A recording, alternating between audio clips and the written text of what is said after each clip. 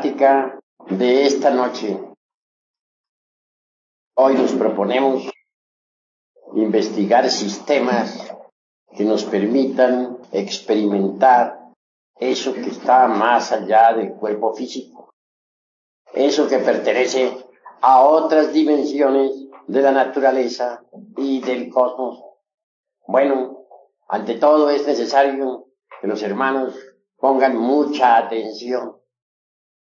Hace unos cuantos años acaeció en Roma un caso insólito. Una monja caía constantemente en trances mediunímicos o hipnóticos. Entonces asumía ciertas actitudes, podríamos decir, inmodestas, o tal vez eh, dijéramos obscenas. Se confesó con el señor cura y, le relató la cuestión. Lo que pasaba era que ella conservaba un retrato de un novio que había tenido.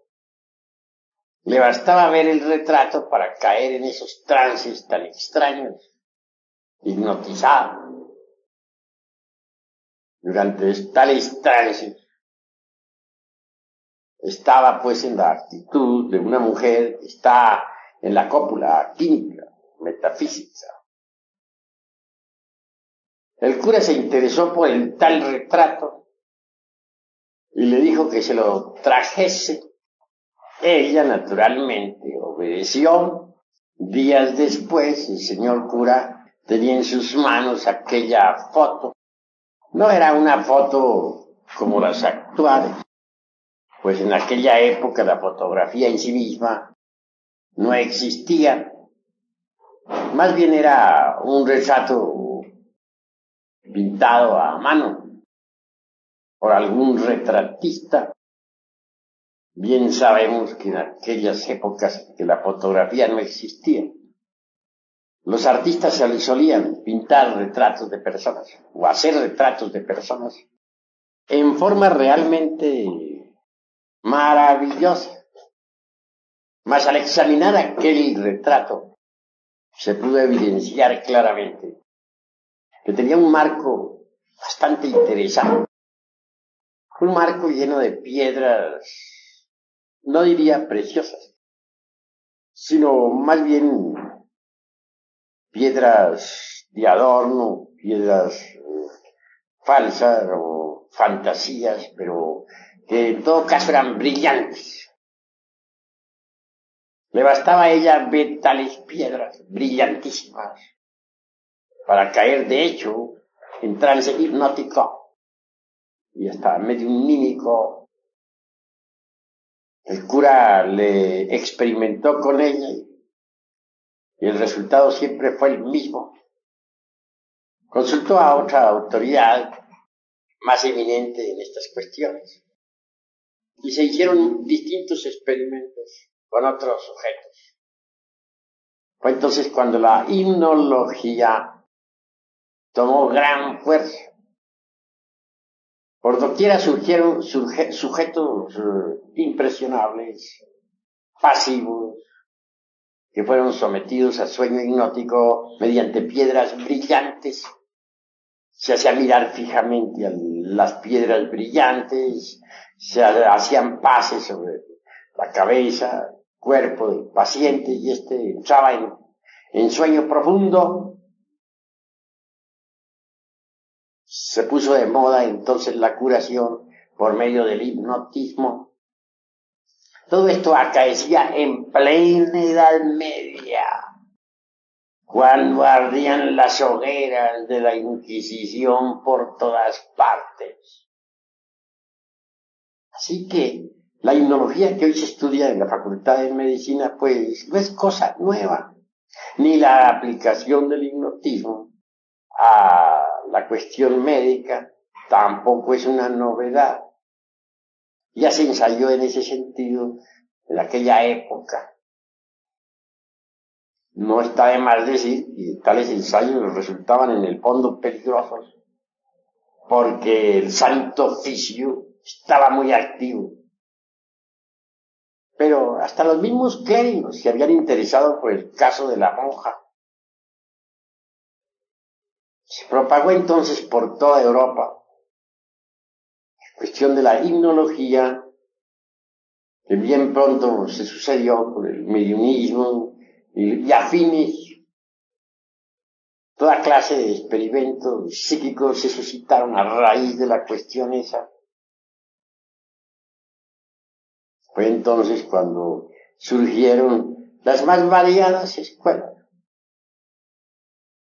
Mm, mucho más tarde aparecieron en escena, ya después de, algún tiempo, personajes como Richard y Charcot, César Lombroso, Camilo Flammarion, etc. Eso fue más tarde ya, del tiempo. En cuanto a experimentos, los hubo notables, pero mucho más tarde, como resultado de aquellas, de aquellas inquietudes medievales. No está de más recordar, por ejemplo, los experimentos con el Sapia Paladino de Nápoles. Esa mujer despertó inquietudes en toda Europa. En presencia de ella, por ejemplo, una mesa se levantaba en el aire violando la ley de gravedad. Claro, vinieron sabios a Nápoles, de toda Europa.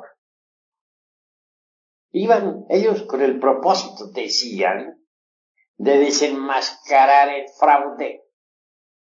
Gentes escépticas por naturaleza, por naturaleza y materialistas. Aquellos científicos empezaron por examinar el organismo físico de Eusapia Paladino. Se examinó la orina, la sangre, etcétera, etcétera.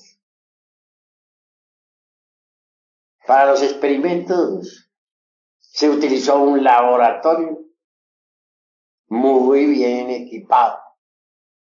A Eusapia Paladino se le sentó en una silla fija en el suelo debidamente asegurada. De lado y lado había un par de postes de hierro. Se le encadenó, como para que no pudiera hacer ningún truco. Se le envolvió el cuerpo con alambres eléctricos.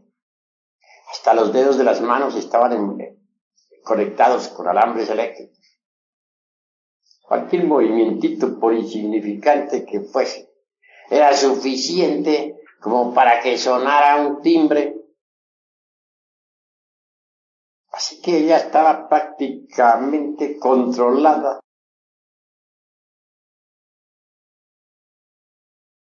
Sin embargo, pues de las correspondientes sesiones, digo yo, después de caer ella en trance hipnótico, se sucedieron fenómenos extraordinarios.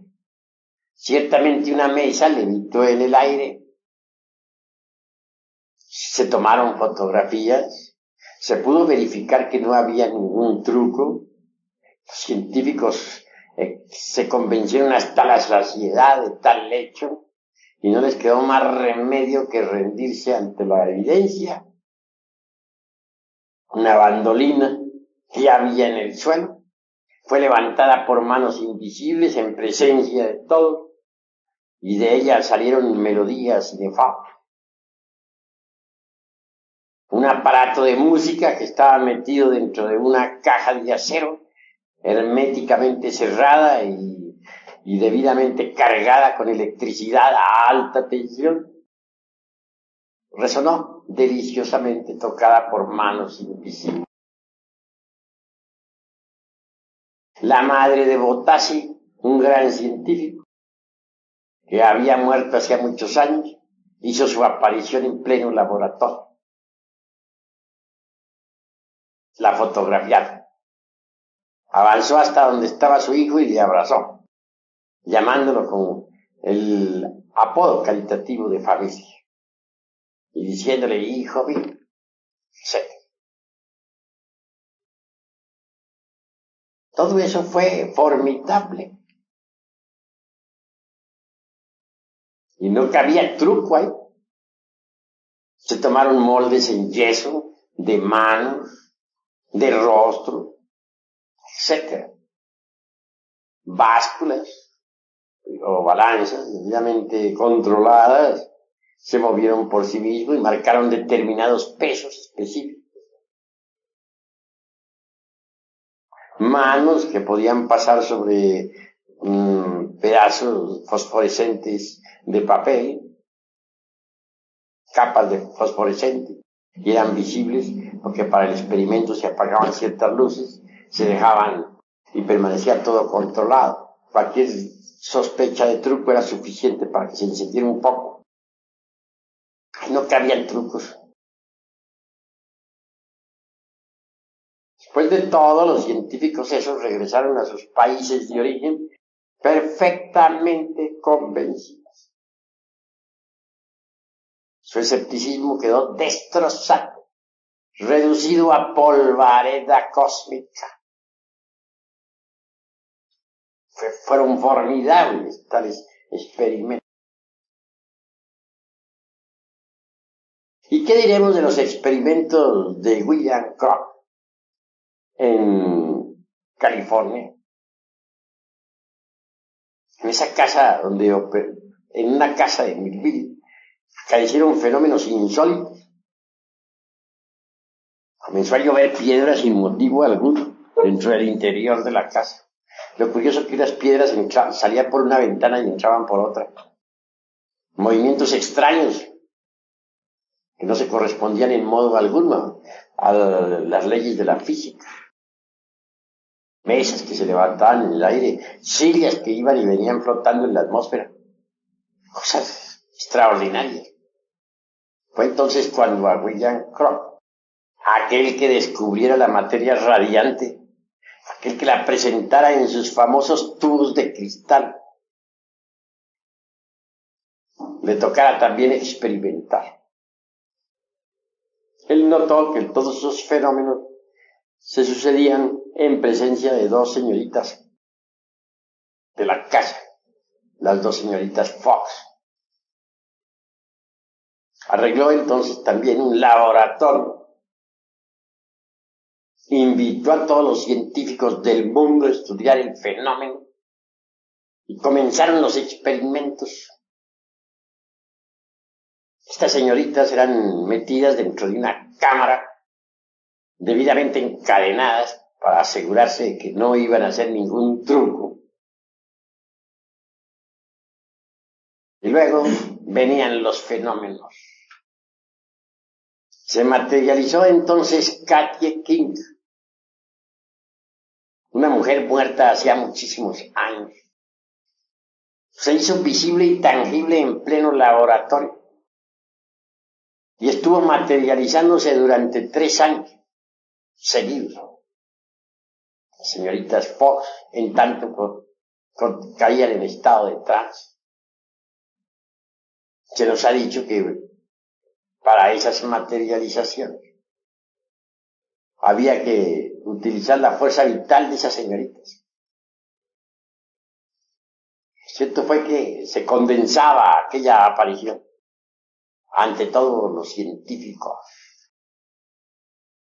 Se tomaron fotografías por cantidades. Tres años seguidos de materialización de Katy A los tres años se despidió de todos los científicos. Dijo, ya he cumplido mi misión aquí en el mundo físico. Les he demostrado que mm, los difuntos continuamos viviendo en los mundos superiores. A eso he venido y mi misión está cumplida se despidió de todos entre lágrimas y sollozos. Cámaras de fotografía fueron registrando los procesos de desmaterialización de aquella difunta. Todavía les dejó materializado un bucle de cabello, como recuerdo. Sabios vinieron, repito, de toda Europa, incrédulos todos en un ciento por ciento. Sin embargo, tuvieron que convencerse, porque hechos son hechos y ante los hechos tenemos que rendirnos. Después de aquel de aquellos experimentos de Katy Quedó demostrado físicamente la realidad del más allá. ¿Y qué diremos de aquel medio hume francés que en estado de trance flotaba en la atmósfera? Que flotando en la atmósfera sentado sobre una silla salió por una ventana y entró por otra, en un alto piso. Que metía el rostro entre carbones encendidos y no se quemaba, etcétera. Fueron fenómenos de orden popular. ¿Cómo negarlo cuando los científicos los comprobaron?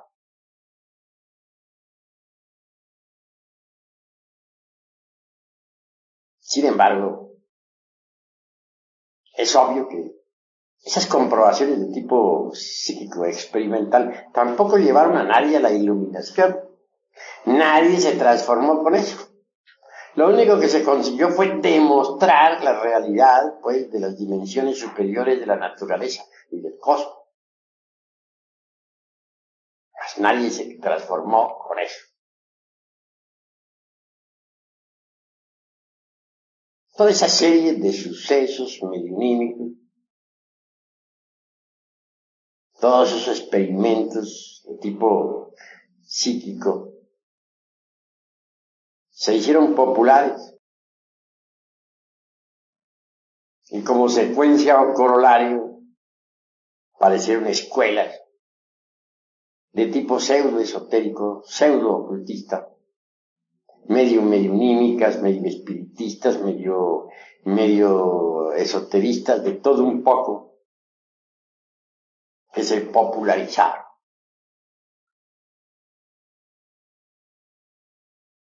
No voy a pronunciarme contra ninguna escuela, porque no ese es el objetivo de esta plática. Únicamente quiero decirles que tales escuelas de tipo semi-esotérico semi-espiritista abundaron como secuencia o corolario de tantísimos, de tantísimas investigaciones de tipo psíquico. Mas esas escuelas tampoco poseyeron una auténtica tradición esotérica no fueron escuelas que permitieran la transformación del ser humano. Dichas escuelas poseyeron una abundante biblioteca y muchísimos eruditos, pero no condujeron a nadie a la transformación, a la autorrealización íntima del ser. Parecía un tipo de gentes muy curiosas teorizadoras en un ciento por ciento. Las hemos denominado personalidades calquianas. Así las hemos llamado debido a que son gentes de esta época de Kali Yuga.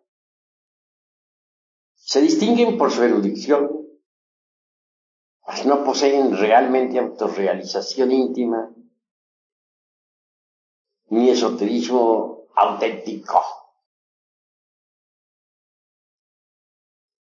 son gentes que tienen dogmas. Uno de ellos, por ejemplo, es aquel de la evolución. Surgió en el fondo de escuelitas como las de Alain Kardec, León Denis, etc. Si leemos nosotros a fondo a Kardec, en, su libro que titula El libro de los espíritus, Veremos allí el dogma de la evolución. Parece que también influyó muchísimo Darwin con su teoría de la evolución y transformación de las especies, que influyó en forma muy decidida sobre todas esas escuelas calcanas. A fin y al cabo apareció una jerga muy curiosa de eruditos sin autorrealización, sin conocimiento ninguno de la sabiduría de la serpiente, sin capacidades para investigar fuera del cuerpo físico, en forma positiva y consciente, sin experiencia práctica sobre alquimia,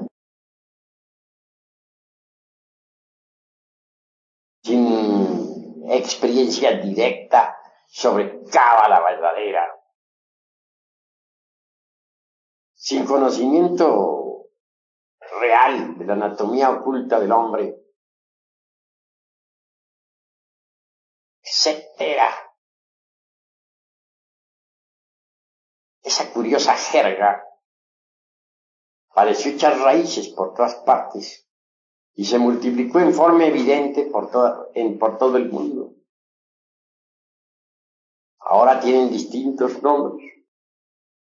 No seré yo precisamente quien vaya a publicar los nombres de todas esas escritas, que cada cual es libre de pensar como quiera, y en modo alguno me propongo atacar a otras organizaciones Así les diría a ustedes que se, basan en fundamentos falsos. Cuando uno no conoce la sabiduría de la serpiente, cuando uno no es un verdadero alquimista de laboratorio, cuando uno no es capaz de operar prácticamente con la alquimia y de moverse en cualquier sefirote, cuando uno es esclavo del dogma de la evolución y está lleno de infinitos temores, y prejuicios, obviamente marcha por el camino del error.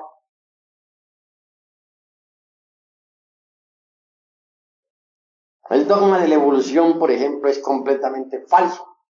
No tiene basamentos sólidos sobre los cuales poder sostenerse. Dice que uno va evolucionando en cada reencarnación, poco a poco, hasta que llegue el momento en que se libera después de millones de existencias. Cuando alguien ha tomado en serio tal teoría, no se preocupa realmente por trabajar sobre sí mismo. Porque se dice a sí mismo, pues algún día llegaré si no llego ahora, llegaré dentro de un millón de vidas. En esas condiciones, pierde el tiempo y al fin lo sorprende el hecho de que se agota su ciclo de existencias y no le queda más remedio que ingresar en la involución sumergida de los mundos infiernos. Ha perdido su tiempo.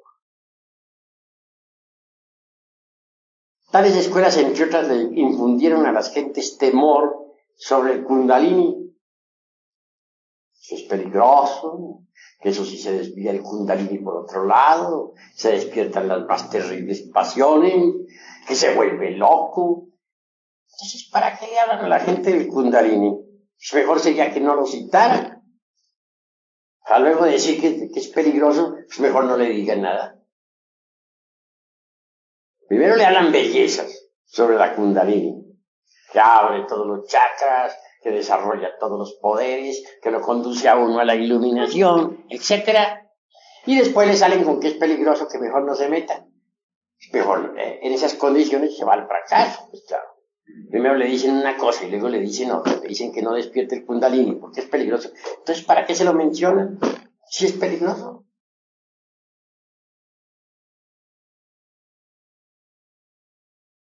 Esas son las jergas en que viven actualmente los pseudo-esoteristas y pseudo-cultistas. Gravísimo es.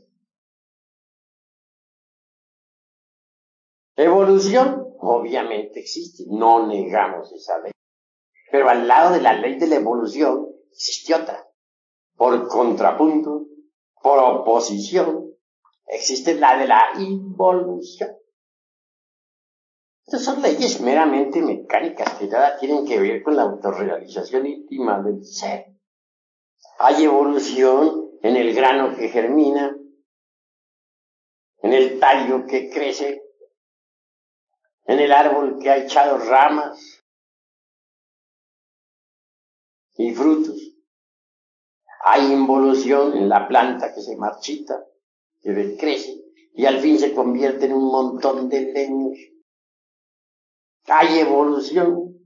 En la criatura que se gesta dentro del vientre materno, en el niño que nace, que se desarrolla, en el adolescente, en el joven que lucha por la existencia, en el hombre maduro y fuerte, etc. Pero hay involución también en el anciano, en el hombre que cada día envejece más y más,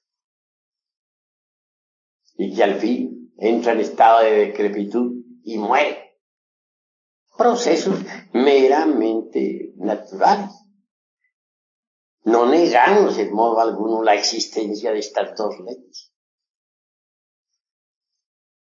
En lo que no estamos de acuerdo es en atribuirle a las mismas principios y conceptos completamente equivocados. Toda esta jerga de tipo dogmático, toda esta sapiencia, pseudosapiencia teórica de las distintas escuelas del pseudo-ocultismo y pseudo-esoterismo barato. Surgieron en realidad como secuencia o corolario de todo ese psiquismo anterior, espiritismo, mediunismo, mesas parlantes, sujetos en trance, etc. Entonces eso, esa jerga, no tiene realmente fundamento sólido. No tiene sistemas de investigación superior. En modo alguno me, parece correcto que querramos nosotros basar nuestros experimentos exclusivamente en sujetos pasivos, mediúnicos. Se ven tantos errores en el psiquismo barato. Me parece que los hombres serios en modo alguno deberían ocuparse de esa clase dijéramos, de fenómenos tan ignorantes. Como cita diré algo muy interesante. A poco tiempo en un lumicial de la hermana República de Venezuela. Cierta mujer de tipo mediunímico cayó en estado de trance. Una dama que todavía no había disuelto el lego.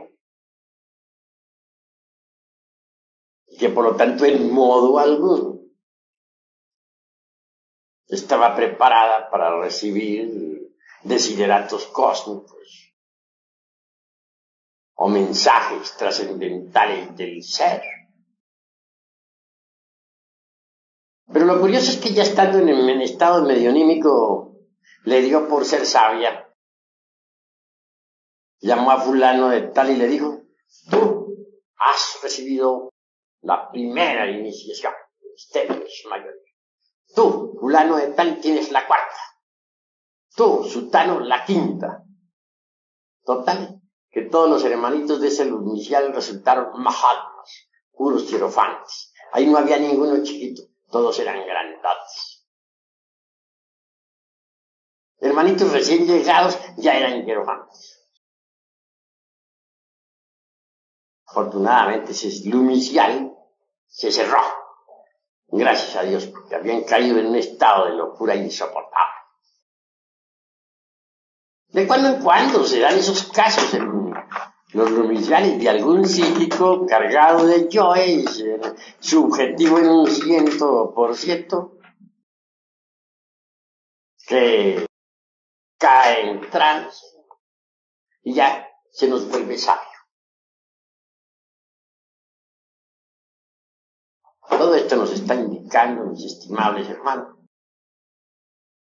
que no es el psiquismo barato, ni el mediunismo, ni los estados incoherentes e imprecisos de una mente desordenada, lo que puede, pueda llevarnos a nosotros realmente a la iluminación. Obviamente no. Existe también la yoga. No quiero pronunciarme contra la yoga, pero sí señalaré algunos peligros. Los hatha yogis, por ejemplo, creen que únicamente a base de puras posturas yogicas es posible la autorrealización íntima del ser. Ese concepto está equivocado. Tampoco quiero irme al otro extremo y decir que algunos, alguna gimnasia hatha sea inútil. No, hay ciertas gimnasias hatha yoginas que pueden ser útiles para la salud, para el cuerpo físico. Pero en modo alguno podrían conducirnos a la liberación final. Se trata de buscar el camino Sucede que la humanidad vive metida en un laberinto sin salidero por ninguna parte.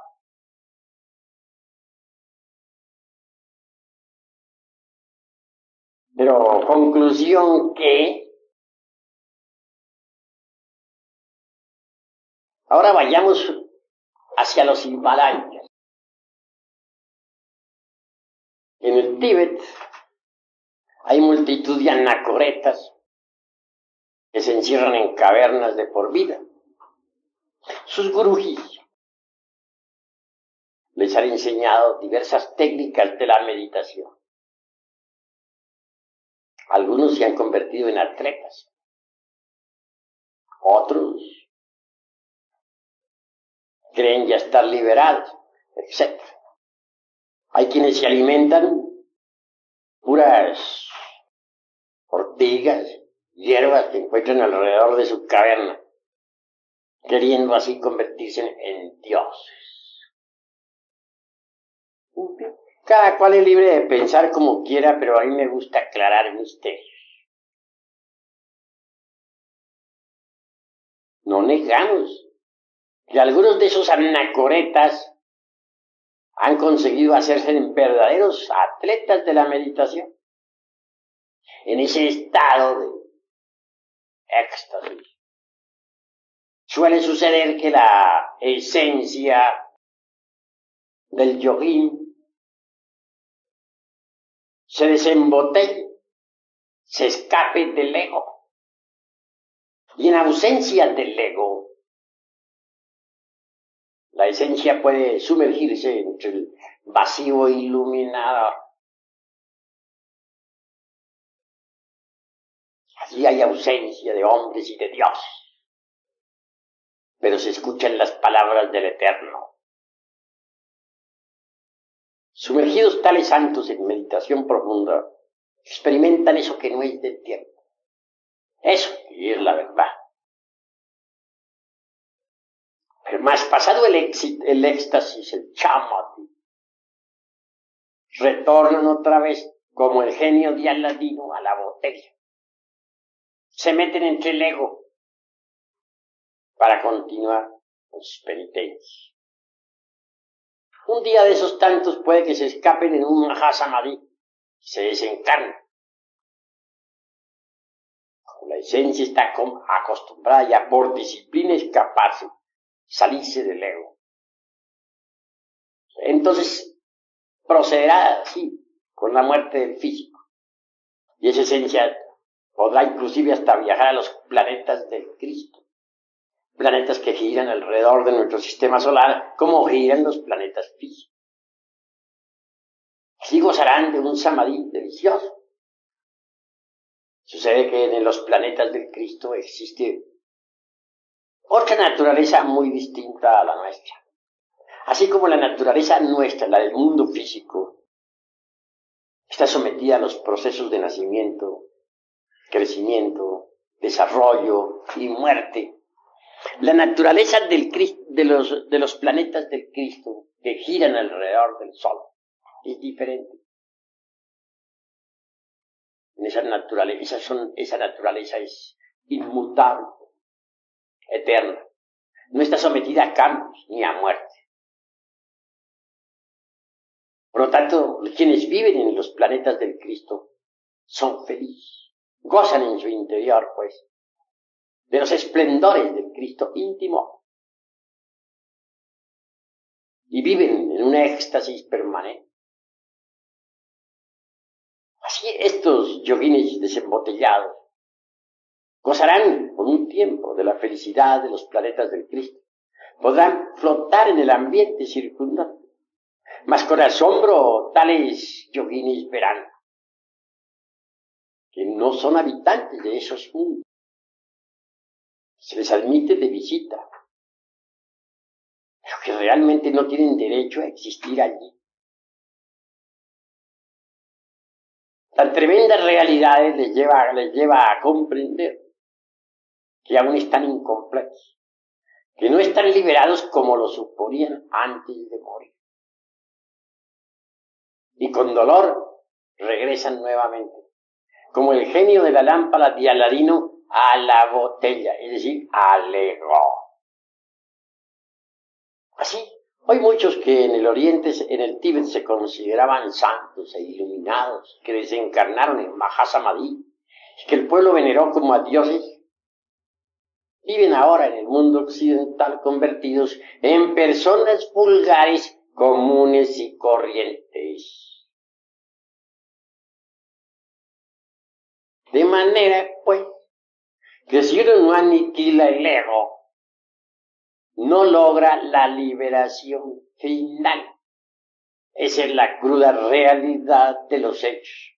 Aunque practique muchos ejercicios yógicos, aunque se encierre en cavernas aisladas del mundo, alimentándose con hierbas por ahí silvestres, etc.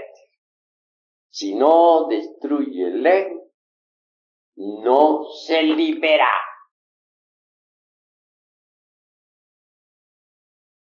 Bien. Se ha hablado mucho en las escuelas de tipo pseudo-esotérico y pseudo-cultista sobre la constitución septenaria del hombre. Todas esas escuelas de esta, escuelas calquianas que diríamos, tienen abundante biblioteca hay obras donde se menciona claramente los siete cuerpos del hombre y donde se afirma en forma enfática que toda criatura humana tiene ya los siete cuerpos. De acuerdo con eso, todos ya son maestros. Pero ¿a qué se deben esos errores? Pues a erróneas interpretaciones sobre la cultura oriental. Si hubieran interpretado mejor las cosas, no estarían, no habrían metido la pata como la han metido. Realidad de verdad el ser humano, el humanoide intelectual, para hablar más claro, únicamente posee el cuerpo planetario. ¿Qué se entiende por cuerpo planetario? el cuerpo físico. También tiene ese vehículo su asiento vital orgánico. Ese asiento vital es lo que llamarían los indostanes el lingam sharira, es decir, el cuerpo vital. Pero cuerpo vital y cuerpo físico son lo mismo. Son un solo cuerpo porque el llamado cuerpo vital o doble etérico para usar esta vez los términos de los de las gentes de esta edad calquiana no es más que la parte superior del cuerpo físico. Esto es, el cuerpo físico es tetradimensional. Tiene cuatro dimensiones cuarta vertical está formada por el cuerpo vital, o. Pero dejando a un lado esta cuestión del cuerpo planetario con su asiento vital orgánico, ¿qué es lo que tiene el humanoide? Lo único que en realidad tiene adentro es un montón de diablos. Será un poco duro decir esto, pero es la verdad. aquellos que hayan destruido el ego, que por lo tanto gocen de la verdadera conciencia despierta, podrán verificar por sí mismos lo que estoy en estos instantes afirmando. Hay algo digno, sí, en el humanoide. No lo negamos, la esencia. O el budata, como dicen los orientales, hablando a la luz del seno, del chancho. Esa esencia está desgraciadamente enfrascada entre los diversos elementos inhumanos que en nuestro interior cargamos. De manera que esos elementos inhumanos son en realidad de verdad un montón de diablos, los demonios rojos de Set, como dice, como se dijera en el alto y bajo Egipto. Y hablando en el lenguaje tibetano diríamos, esos elementos inhumanos son los agregados, vivas personificaciones inhumanas de nuestros defectos de tipo psicológico. Eso es pues lo que tiene el ser humano, el humanoide. Pero ¿en qué quedamos sobre los cuerpos astral de que nos hablaban en las escuelas de tipo pseudo esotérico y pseudo ocultista? ¿Qué quedamos sobre el famoso manas inferior y manas superior, es decir, sobre el cuerpo mental y sobre el cuerpo de la voluntad consciente o causal? No, esos cuerpos no los tiene el humanoide. Pero entonces, ¿por qué esas escuelas afirman que sí los tienen? por una pésima interpretación de las, de, las enseñanzas orientales. Mal interpretadas, fueron difundidas en el mundo occidental y condujeron a la gente al error. Los cuerpos astral, mental y causal hay que fabricarlos. Eso es obvio. ¿Cómo se fabrican esos cuerpos? Si uno no tiene nociones de alquimia, ¿cómo haría para fabricarlo? Ante todo hay que ser alquimista, hay que estudiar la alquimia. La alquimia y los alquimistas agitaron toda la Edad Media.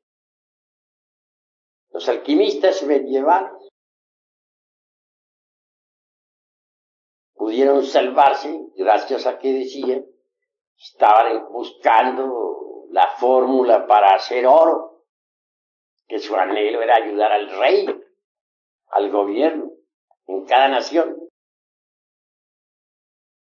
Así de esa, de esa, de esa forma y de ese modo escaparon de la hoguera. Se les llamaba también los sopladores en casa de los alquimistas, nunca faltaba todo un laboratorio. Ahí se veían unos enormes fuelles de esos antiguos que para estar soplando el fuego. Se veían crisoles, se veían enormes ollas, chimeneas, etcétera, etcétera, etcétera, todos los utensilios propios del laboratorio. Cuando alguien visitaba la casa, sabía que se encontraba en presencia de un alquimista. Algunos hasta podían fabricar jabones también como para disimular la cosa. Pero por lo común, todos esos artefactos y utensilios del laboratorio no eran más que el símbolo viviente del cuerpo de doctrina. Se habían tomado la alquimia de Egipto, la trajeron a Europa los árabes y la aceptaron muchísimos monjes medievales, eminentes maestros, etc. Ahí tenemos como para citar algunos personajes al abate un monje benedictino, alquimista. Fue el maestro nada menos que de Paracelso, otro gran médico y alquimista, que logró la transmutación del plomo en oro y, y que también consiguió la piedra filosofal y el elixir de larga vida. Paracelso aún vive todavía. Personalmente yo le conozco. Quienes crean que Paracelso murió están muy equivocados. Y en cuanto al doctor Juan Fabio, médico encantador y mago, que viajara en su caballo desde Praga hasta Varsovia, que asombrara a todo el mundo en aquella época, transmutó el plomo en oro y aún existe. El único que sí no logró mayores triunfos de entre los tres discípulos del abate Tritem fue Cornelio Agripa. Este hombre cometió el error de ponerse a teorizar. Se pasó su vida razonando, sacando silogismos, prosilogismos, metido dentro del círculo vicioso del razonamiento. Cuando quiso hacer la gran obra, ya estaba muy viejo. No pudo, murió. Le sorprendió la muerte luchando por disolver el yo, queriendo tomar posesión de sí mismo. Pero no llegó. Fracasó. Mediante la alquimia, sabe uno, aprende uno a fabricar el mercurio de los sabios, con el que puede fabricar los cuerpos existenciales superiores del ser, indubitablemente transformando el exiohari, es decir, el esperma sagrado, se elabora el mercurio de los sabios.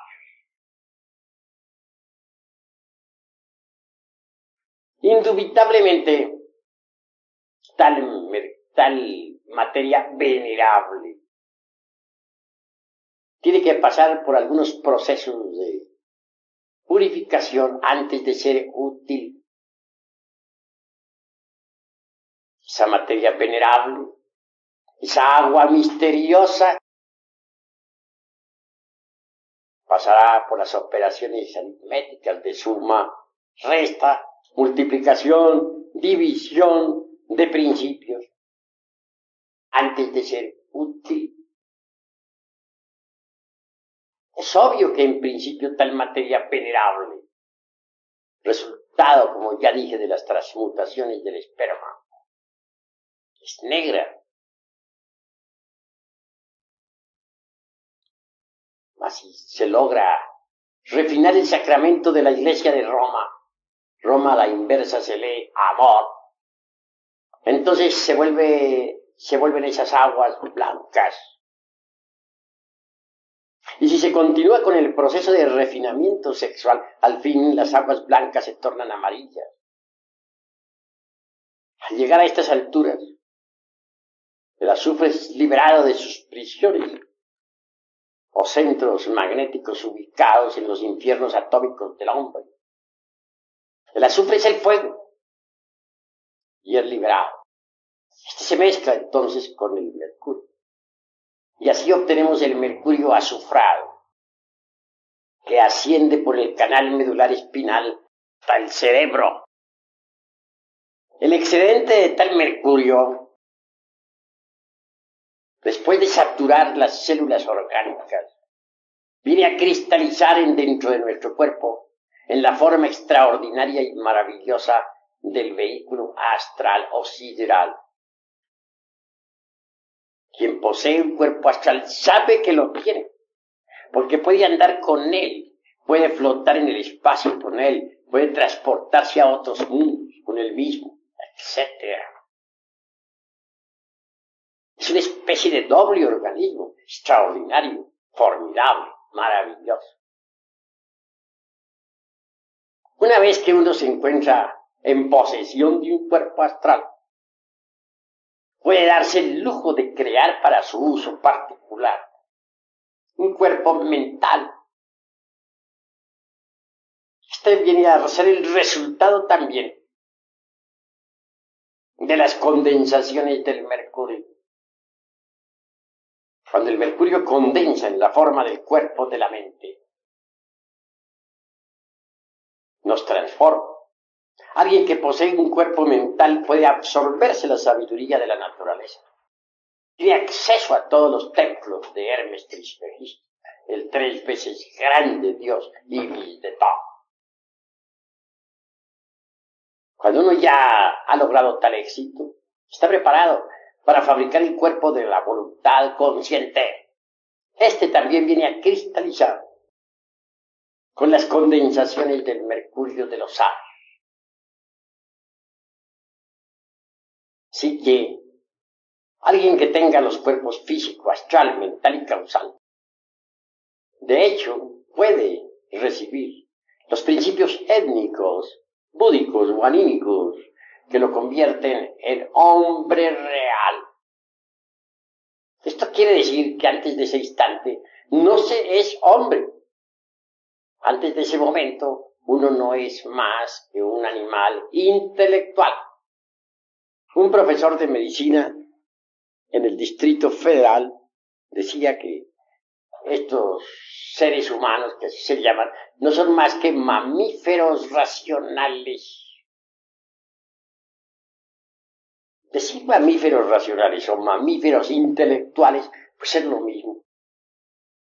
Hagamos pues una plena diferenciación entre lo que son los mamíferos intelectuales y lo que es el hombre. Solo quien posea esos vehículos es hombre. Ahora bien, una cosa es ser hombre real y otra cosa es tener capacidades para ser un investigador competente de la vida en los mundos superiores.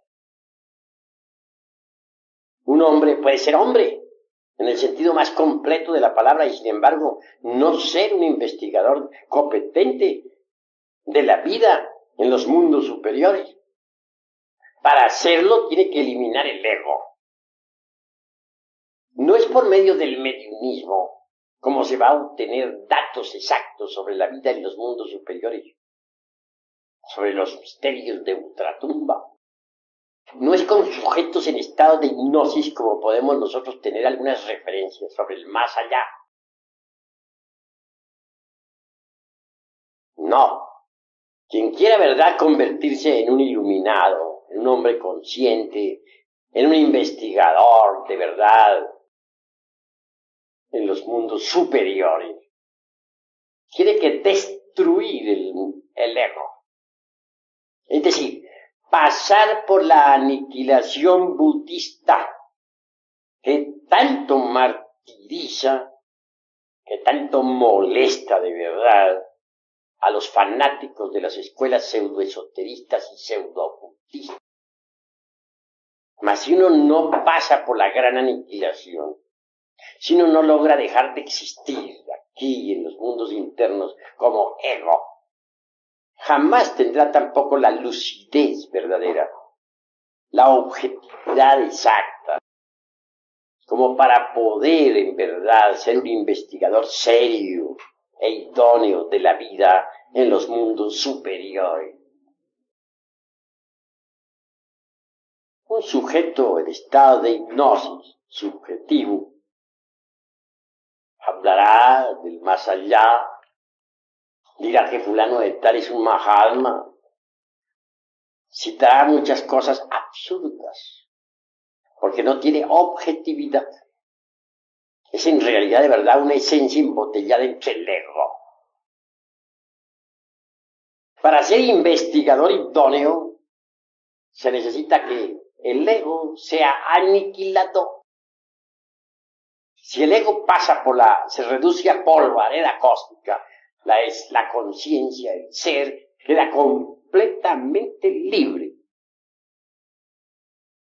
Una esencia, una conciencia libre. Es una conciencia iluminada. Una conciencia que podrá directamente experimentar lo real. Una conciencia verdaderamente emancipada idónea para la investigación. Solo una conciencia así podrá informarnos sobre las vidas anteriores, sobre los mundos inefables, sobre el karma, la ley, sobre las leyes de evolución, involución, sobre los mundos infiernos, etcétera. Pero que alguien con ego quiere informarnos sobre todo eso, pues no más, no, no porque no es, no es no tiene una conciencia libre, no tiene una conciencia resplandeciente, es una conciencia todavía enfrascada, tapada, metida entre distintos receptáculos de materia. Obviamente no posee la idoneidad indispensable para la investigación.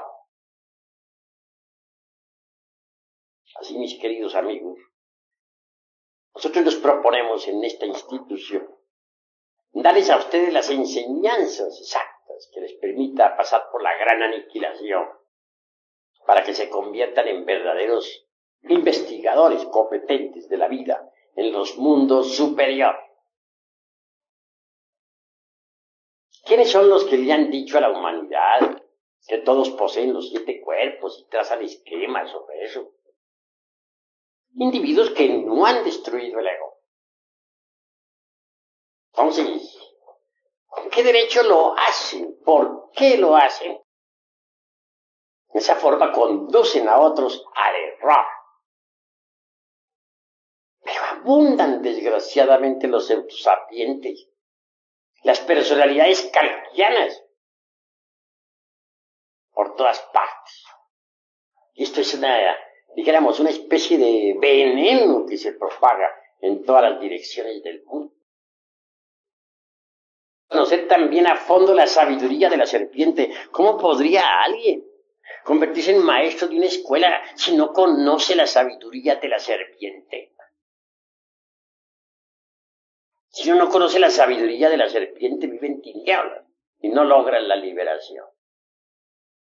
Ejemplo, sostienen falsamente las escuelas de tipo pseudoesotérico y pseudobudista en todas sus jergas inútiles. Que cuando el, kundalini puede despertar en cualquier momento, que a través de la meditación o con las prácticas del pranayama o por imposición de manos del gurú, etc. cosa falsa, pero falsísima. El Kundalini no despierta de esa manera. ¿Quiénes hablan así? Los que no han estudiado los tantras tibetanos que no han investigado jamás los tesoros de Anáhuac. Es bueno saber que en los códices que nos han quedado, aquellos que lograron salvarse pues, de la, del vandalismo ese gachupines, entre líneas está escondida la sabiduría de la serpiente. Tengas en cuenta que la gran Tenochtitlan fue serpentina. Así pues nosotros los mexicanos tenemos una tradición serpentina.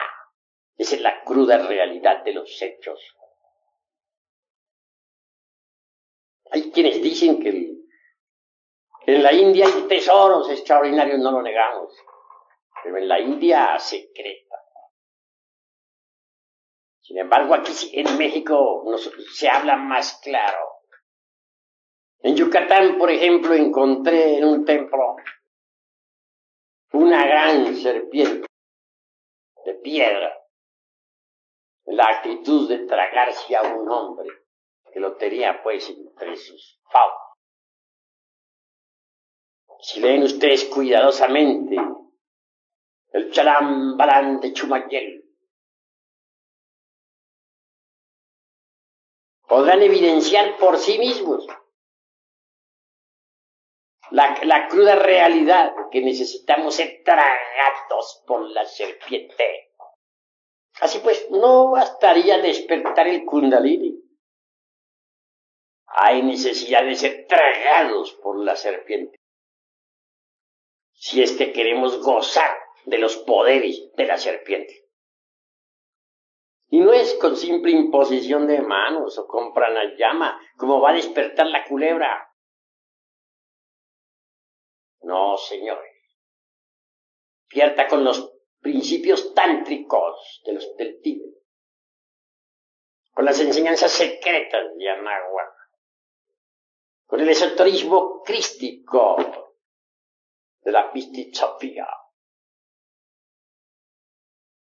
con el gran secreto de los misterios de Leusis, con el artificio de los alquimistas medievales. La clave es muy sencilla. Conexión del Lingan Johnny. Sin eyaculación jamás. De Lens Semen. Durante toda la vida. Es obvio que si no se llega jamás al orgasmo ese fisiológico, señalado por la medicina, o al espasmo, y así se dice en el varón. En otro sentido, si se evita derramar el vaso de Hermes Trismegisto, ese esperma sagrado, esas secreciones sexuales, se transmutan en energía. Y esa energía es el mercurio de los sabios. los patios empedrados de los antiguos habitantes de la gran Tenochtitlan, hombres y mujeres permanecían durante meses enteros amándose y trabajando en la forja de los cíclopes para despertar la serpiente ígnea de nuestros mágicos poderes. Pero, repito, no bastaría levantar la serpiente ígnea por el canal medular espinal, como piensan muchos yoguines. Quien quiera gozar de los poderes de la culebra, de la serpiente, tendrá que ser tragado por la serpiente. Pero la serpiente no come inmundicia no traga nada inmundo. Cuando la serpiente se traga a un hombre, es porque éste ya ha eliminado hasta la última partícula del ego.